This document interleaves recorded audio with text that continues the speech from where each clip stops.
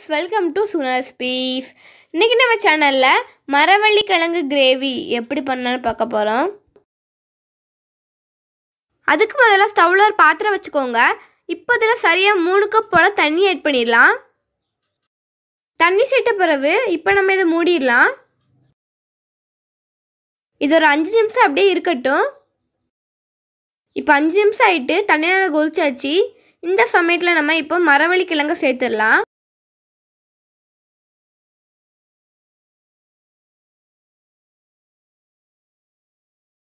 எல்லாம் சேர்த்த பிறகுனால கலந்து விட்டுக்கோங்க. இப்போ நம்ம இதை மூடி மிதமான தீயில பதினஞ்சுலேருந்து இருபது நிமிஷம் வேக விட்டுடலாம் இது வேக சமயத்தில் நம்ம இப்போ இதுக்கு மசாலா அரைக்க ஸ்டார்ட் பண்ணிடலாம். அதுக்கு முதல்ல ஒரு மிக்ஸி ஜார் வச்சுக்கோங்க. இப்போ இதில் கரெக்டாக அரைக்க போல் தேங்காய் ஆட் பண்ணிடலாம். இப்போ நம்ம இது கூட ரெண்டு டீஸ்பூன் மிளகாய்த்தூள் கால் டீஸ்பூன் அளவு மிளகு மூணு பல் பூண்டு டீஸ்பூன் அளவு சீரகம் அரை டீஸ்பூன் மஞ்சள் தூள் கூடவே எட்டு போல் சின்ன வெங்காயத்தை தோல் உரித்து சேர்த்துடலாம். எல்லாம் சேர்த்த பிறகு இது கூட கொஞ்சம் போல் தண்ணி ஆட் பண்ணிக்கோங்க. இப்போ தான் நம்ம மூடி நல்லா பேஸ்ட் மாதிரி அரைச்சி எடுத்துக்கலாம்.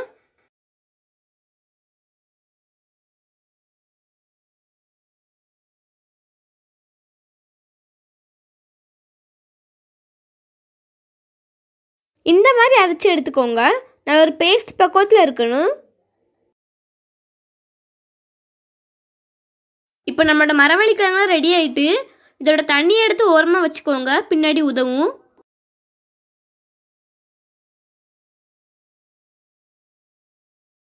இந்த மாதிரி கிழங்கு நல்லா அவிஞ்சிருக்கணும்.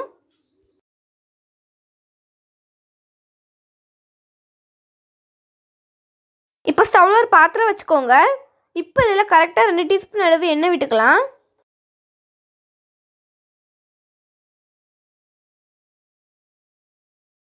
என்னென்னலாம் நல்லா ஹீட்டான பிறகு இது கூட நாலு போல் வரமிளகாய் சேர்த்துடலாம்.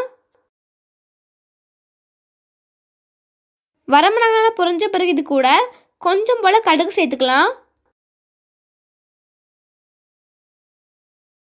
கடுகு நல்லா உடஞ்ச பிறகு இது கூட மூணு போல் சின்ன வெங்காயத்தை குட்டி குட்டியாக நறுக்கி சேர்த்துக்கோங்க. கூடவே ரெண்டு கொத்து போல் கருவேப்பிலை ஆட் பண்ணிக்கோங்க.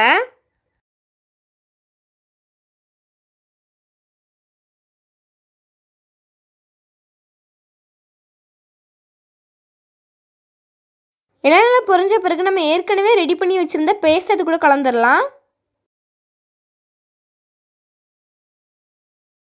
இப்போ இதில் நம்ம ஒரு நெல்லிக்காய் சைஸ் புளியோட தண்ணியை சேர்த்துடலாம்.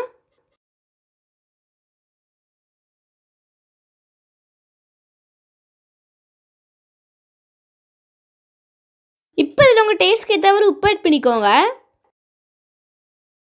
இது கூடவே நம்ம ஏற்கனவே வேக வச்சுருந்த கிழங்கு தண்ணியை சேர்த்துடலாம். எல்லாம் சேர்த்த பறவை இதோட நல்லா கலந்து விட்டுக்கோங்க. இப்போ இதை மூடி மிதமான தீயில ஒரு மூணு நிமிஷம் அப்படியே இருக்கட்டும். இப்போ மூணு நிமிஷம் ஆயிட்டு இது கூட நம்ம ஏற்கனவே வேக வச்சுருந்த கிழங்க சேர்த்துடலாம்.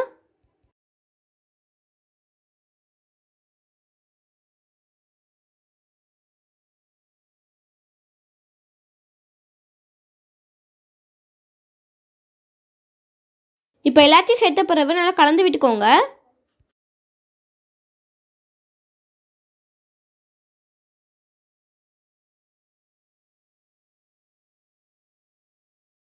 இப்போ இதை மூடி மிதமான தீயில் ஒரு ரெண்டு நிமிஷம் அப்படியே இருக்கட்டும்.